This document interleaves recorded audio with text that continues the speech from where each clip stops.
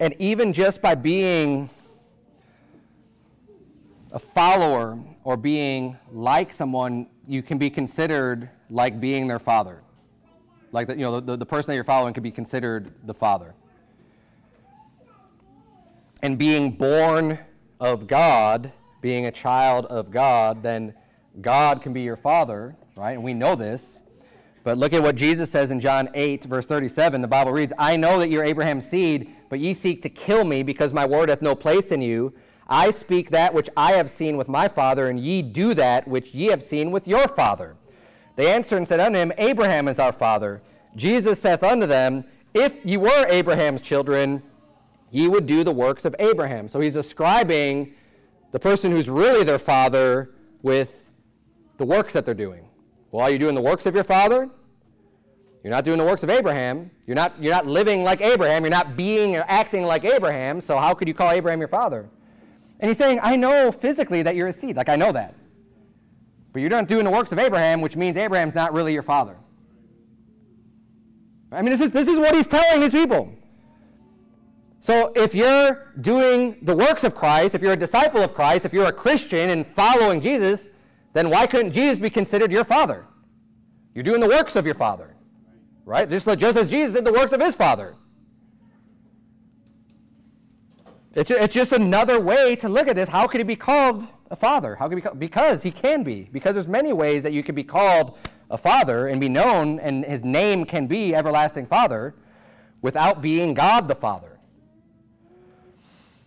Verse 40 says, But ye seek now to kill me, a man that hath told you the truth, which I have heard of God. This did not Abraham. Ye do the deeds of your father. Then said they unto him, We be not born of fornication. We have one Father, even God. Jesus said unto them, If God were your Father, you would love me. For I proceeded forth and came from God. Neither came I of myself, but he sent me.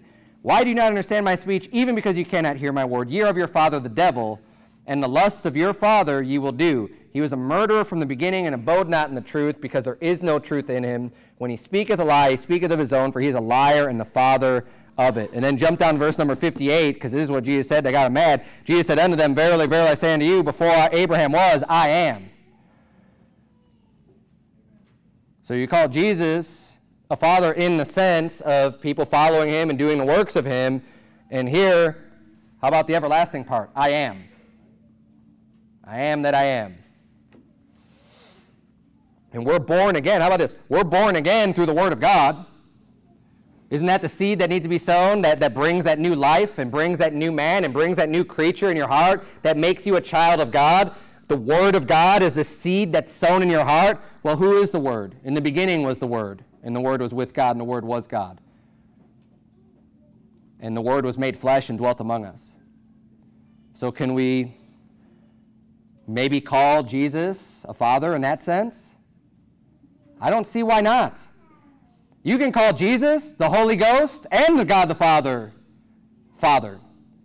They all have the same attribute in our salvation. They all play a part in our salvation. They're all necessary because it's all God, because God's necessary for our salvation. So when you're begotten, when you're born again, God is our Father, our spiritual Father. God. You mean God the Father? Yep. You mean God the Son? Yep. You mean God the Holy Ghost? Yep. God is our Father. So that same God that's born and becomes a man, Jesus Christ, can also be called an everlasting Father without being the same as the other person, one of the other persons of the Trinity, God the Father. Does that make sense? Now, all of that said, to just give plenty of reasonable understandings or interpretations of this verse that are not just saying that Jesus Christ is God the Father. Okay?